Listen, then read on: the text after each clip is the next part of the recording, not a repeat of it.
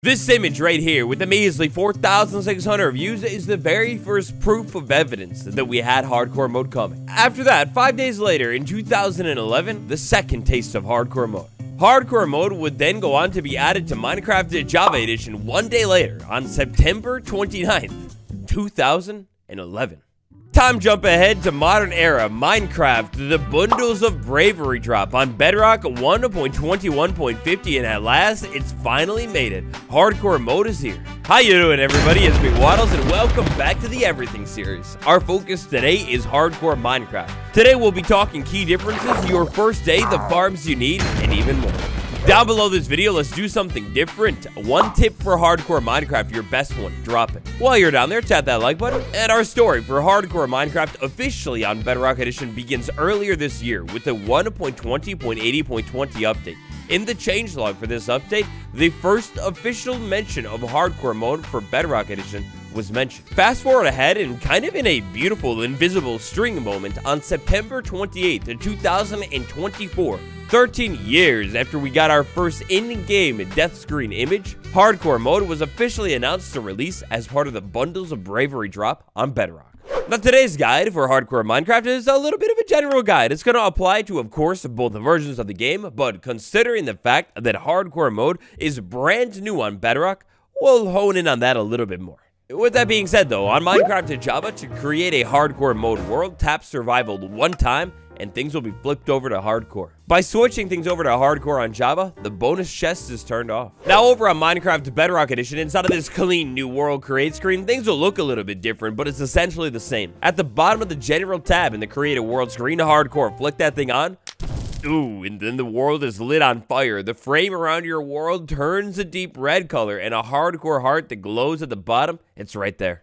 On the other hand, within the confines of the vanilla game, not including diving deep into the files, if you've created a world already and you want to flip it over to hardcore mode, terrible news. Well, once you've created a world not hardcore, without file editing, you can't make it hardcore. Now, our key differences to hardcore mode, we'll begin to notice them immediately when creating a world on the main menu. Once you flip your world over to hardcore mode, survival game mode is locked and hard difficulty is set in as well. One of the largest differences between hardcore mode and the other Minecraft modes is the fact that your difficulty is locked always to hard difficulty. That'll mean that all of the different perks and benefits, if you want to call them that, that come with playing on hard difficulty in Minecraft will be visible inside of hardcore mode. To be quite honest, there are so many differences between hard difficulty, normal, easy, and so on. On screen are some of the most major differences. But hardcore mode specific, another thing that is unique to hardcore mode is the fact that a starting chest, and on Bedrock specifically a starting map, both of those toggles are locked. Off the menu, you can't do them. Meanwhile, many of the other world customization settings are still on the table. For example, that brand new sleeping player game rule, you can go ahead and adjust that one. Tile drops, TNT explosions, exploding, mob loot, and more. Still adjustable. Another thing that's against the rules, the terms of service, if you will, when it comes to hardcore mode is cheats. On Minecraft Bedrock and Java alike, all cheats are 100% disabled in hardcore mode. But on Java, there's a little bit of a workaround that we'll talk about later. When you're finally ready to dive into your hardcore world on Bedrock, tap the World Create button and you get one final warning pop-up letting you know that hardcore mode is forever. And just like that, after a little bit of loading, your adventure has begun. Now in-game, instead of a hardcore Minecraft world, for the most part, everything is going to be the same. Take a look at those hearts. That's a big difference. The heart icon, I mean, it looks so much better and more, well, hardcore. Different hard, hardcore icon aside, though, everything when it comes to health, regeneration, taking damage, all of that business, so on, is exactly the same as hard Minecraft. Our only other unique characteristic of hardcore Minecraft is the fact that when your world is over, well, it's hmm. over. So that's the whole thing with hardcore Minecraft. The idea here is that every move that you make matters a whole lot more. Every breath you take, it's a little bit more important. Let's say I did really poorly on my first day in hardcore Minecraft. Well, when I do, this brand new screen for Minecraft Bedrock Edition will pop up. Instead of saying you died, it's game over. You get your cause and then two options down here at the bottom. You can either exit the world or if you want to, you can go ahead and spectate your world and take a look at everything that you accomplished, including, well, for me, definitely not some floating trees that I left around, and as a side, a boatload of nothing. On Minecraft to Bedrock Edition, if you create a hardcore world, inside of your world, like, menu list screen right here, your hardcore world will have that same red frame from the menu and a glowing hardcore heart at the top corner. When you, unfortunately, game over in a hardcore world, that frame then gets grayed out, and the heart, same too. Now, with our major key differences talked about and in the bag, I think it's time we jump into survival and talk a little bit more about day one, because instead of a hardcore mode world, day one is definitely going to be your most important day. Inside of my world right here, kind of like the worst spawn possible, I'm gonna have to get working right off the bat.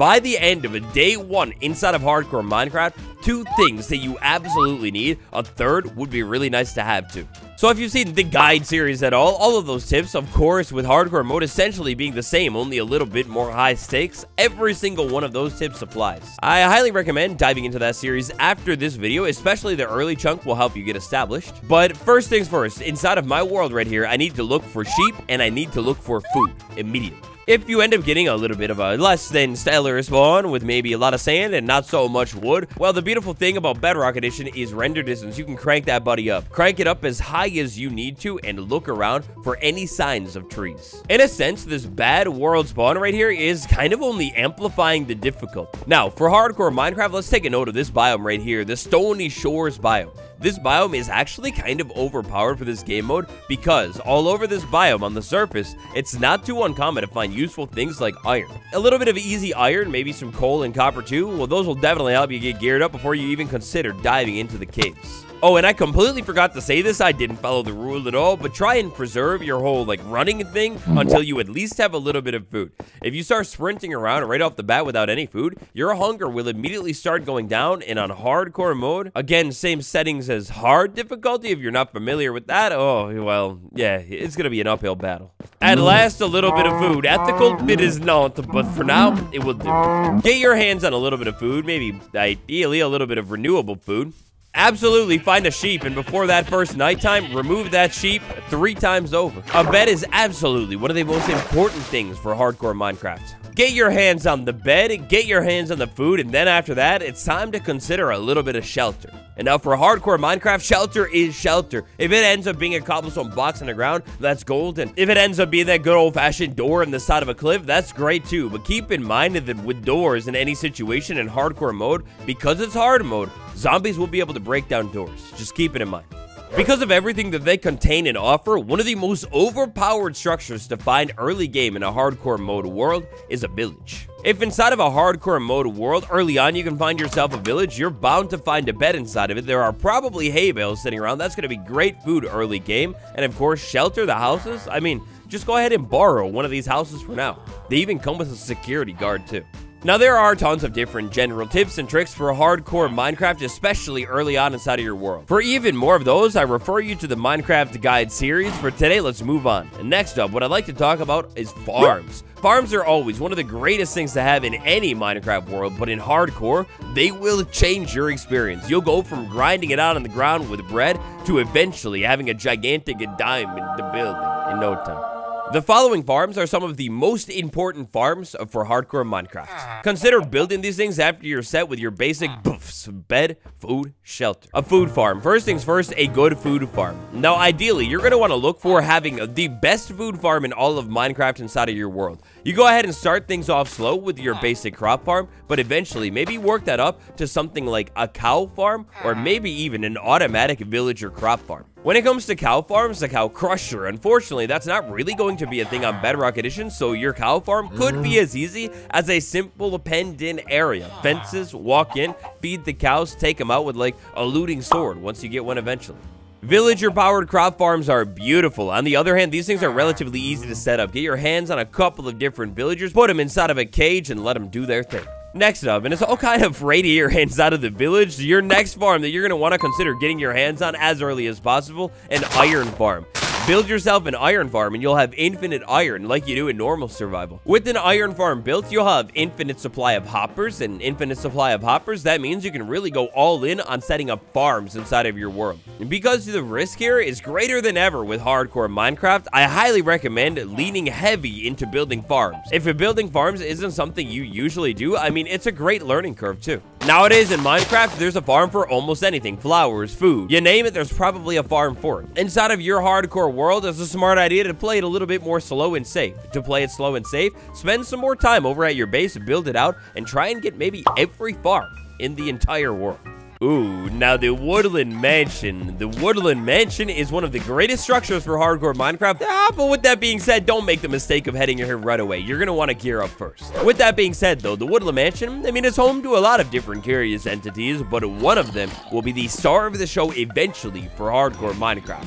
The Evoker. Ah, yes, this buddy right here. So every single Evoker in Minecraft has this cool little quirk where if I take this guy out, you get a Totem of Undying. And a Totem of Undying, well, that will literally save your life. With the stakes in hardcore Minecraft being higher than they ever have been before, it's not a terrible idea to set up some kind of cool little farm involving the Totem of Undying just in case something bad ends up happening. You give yourself a second chance, and your world's not gone forever. At least not yet. In Minecraft, though, you don't have to only go to the Woodland Mansion. There's an easier way to get your hands on those totems. So that way, well, of course, that's going to be a raid farm. These farms, a little bit tricky to set up, but once you get the hang of it, you know what you're doing. It's not bad. You build yourself a raid farm. I've got a handy design for one. I'll leave the card on screen right here, and in no time, you'll be able to safely, automatically, and easily farm yourself a Totem of Undying by doing basically nothing. That means with the new Minecraft 1.21 mechanics, consider building an ominous outpost farm as well. To use my raid farm and safely farm up totems, all you need to do is with the ominous effect, stand down under the ground in your chamber with the villager and wait. Eventually, the raiders will navigate to the center of the farm, and when they navigate, they fall all the way down. You take them out in one swing. It's nice and easy. And the final farm that I want to talk about today, of course, every farm is a great farm to have, but a nice farm that'll segue us from farms to general tips is the Trial Chamber. If you're up for the challenge, head over to the Trial Chamber and try your hand at building a Trial Chamber farm. If this is your first one inside of your Hardcore World 2, maybe find one that doesn't have the bugs. They're really, really dangerous. But inside of your Trial Chamber structure, of course, depending on the mobs that you get, you could potentially set up a bone farm, definitely a wind charge breeze farm, maybe even a slime or rotten flesh farm too. Even better about the Trial Chambers, this is one of the safest places you could be in Hardcore Minecraft because the cool thing about this structure is, well, once you're inside of it. I mean, you're inside of it. And a big point that we talked about a lot during the development of the 1.21 Tricky Trials update, well, the Trial Chamber has no outside of mob spawns inside of this thing. That means if you come to this thing and say, remove every single spawner, or you come to this thing and build farms, traps around every single spawner, well, then you've got yourself a built-in safe dungeon with no mob spawning at all. It's kind of great. Another kind of great thing is the Mushroom Fields biome. If you're gonna play hardcore Minecraft and you'd like to like ease your way into things, well, then maybe try and find yourself a seed with a Mushroom Island biome because just like with a Trial Chamber structure, the Mushroom Island biome will never have any hostile mob spawns at all. That makes this place ideal for setting up a base in hardcore Minecraft. For, for some great hardcore Minecraft seeds, I've got you. Tap this video on screen after we finish up today. Now from farm solidly into the part of the video where we're talking about some general tips and tricks, play it slow. In hardcore Minecraft, play it slow, play it safe, and every single time, skip that nighttime at least until you have good geared up armor. By play it safe, play it slow, I mean a couple of different things. The biggest thing, perhaps, is uh, don't head and charge. Dive headfirst into a cave without any gear at all. Instead, maybe it's a little bit smarter to find alternative ways to gear yourself up before jumping into a cave system. Some great spots to collect up a bunch of coal before heading into the caves. Of course, any area in your world that has a lot of stone. So maybe look around in like the Stony Shores biome, or maybe head up into the mountains. The Stony Peaks biome specifically is a great one. Lots of ore and coal there. Same thing kind of goes for iron as well. The Stony Shores biome, look all over that place, and you're bound to be able to find at least a couple of patches of iron. Get yourself some armor and a sword before going into the caves. Next up, a hardcore mode tip that's kind of a little more exclusive for Minecraft Bedrock Edition, the water. At all costs, avoid the water early game because inside of the water on Bedrock, drown spawn like insanely crazy over here, left, right, and center. By going into the water, you are putting yourself at a gigantic great risk immediately. One trident drowned to two hits from that buddy, and your world is over. Don't go into the water, or try to not go into the deep water until you have some armor.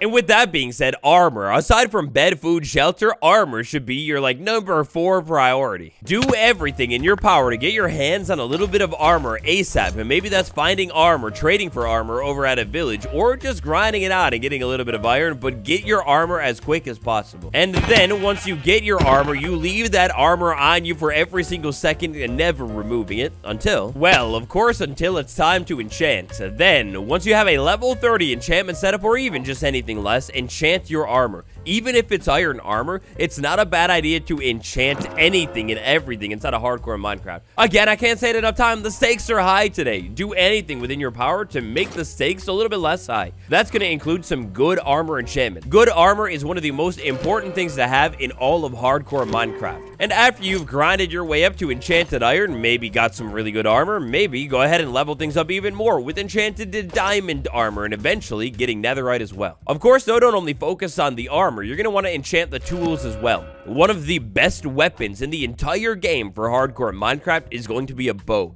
The quicker you can build yourself up a power 4, maybe power 5 bow with the other enchantments like infinity, the better. With good armor, good food for healing up pretty quickly, and a decent bow, you can really keep all threats at bay. I mean, really, like, look, you know how it goes. With the bow, we could go ahead and safely take out all hostile mobs, any enemies from far away, or even if I had to, by towering up on a single pillar of blocks and, you know, keeping myself safe for a little bit of time. If you can get your hands on the correctly beefed up a Power 5 bow, a lot of enemies become one-shot enemies, and you can take them out, like, instantly.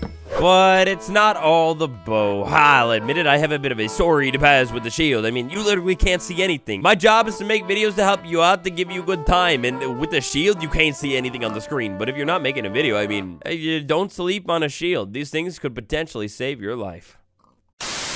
Now, tips for hardcore mode, I could go on all day long, and maybe I will. If you guys want to see it, I'll totally make it a video where we go tip by trick across a bunch of different smart moves for hardcore Minecraft. But for today, check down in the comments. Hopefully there's a bunch of tips down there, and if you want to see my follow-up video with even more tips, well, then all you got to do is let me know by tapping like. Now, hardcore mode, maybe you've played for quite some time and you're tired of the ease. You're something of a professional yourself and you're looking to up the difficulty even more. To create what I'm calling hardcore mode, start by enabling hardcore mode in your world. After that, slide into your advanced settings, scroll down a little bit until you see this toggle for beds work and turn that thing off. Meanwhile, on Minecraft to Java, that same toggle, it's accessible essentially inside of the game rules tab. Sleep percentage right here, if we set this thing to a value that is over 100, say 101, well, by disabling beds, that will mean nighttime is never skippable. You'll have to survive every single night. Another thing that you can do, but unfortunately over on Java to make your game more difficult, sounds counterintuitive, but you can go ahead and disable raids. By disabling raids, you will eliminate easy Totem of Undying farms. On Bedrock, because that toggle doesn't exist, or just in general, if you trust yourself and you want to be able to access Totem of Undying, well then just promise yourself that you're not going to cheat the system and farm Totem of Undying. Or maybe, if you want to go harder, Urcore, no Totem of Undying at all. It's garbage, forget about it, it doesn't even exist. And so you've made it to the end of the Everything hey. Series episode today. Warmly, I want to send a huge shout out to you for watching this video. I appreciate it. Now lately, you know how we've been doing things. Channel members, lots of world downloads. I did a world download for the previous Everything Series episode, the bundle one, but for this one, I really didn't have very much to offer, so I went ahead and skipped it this time. But if you want world downloads or just to support me in general, then tap that join button for a little bit more info. And after we wrap up here and I show you how to break hardcore mode, just check out the Everything Series playlist for even more guides that will change your life.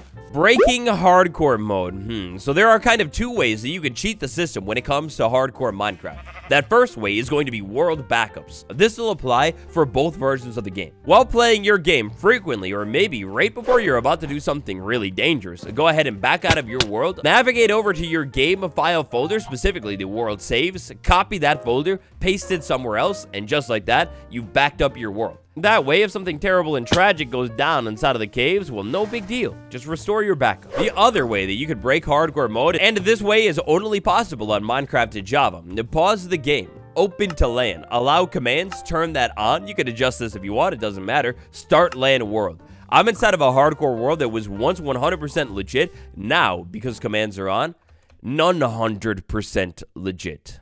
By opening your world up to LAN on hardcore mode, you can go ahead and mess around with any of the commands that you want to in the world. Whether that be the give command, whether that be creative mode in general, spectator mode, literally anything. That right there is maybe the ultimate way to break hardcore Minecraft. And so that's it for today. 13 years in the making, hardcore Minecraft, it's finally on Bedrock. Thanks for watching, everybody. Stay tuned for more guides and updates soon. Subscribe, and I'll see you tomorrow. Goodbye, everyone.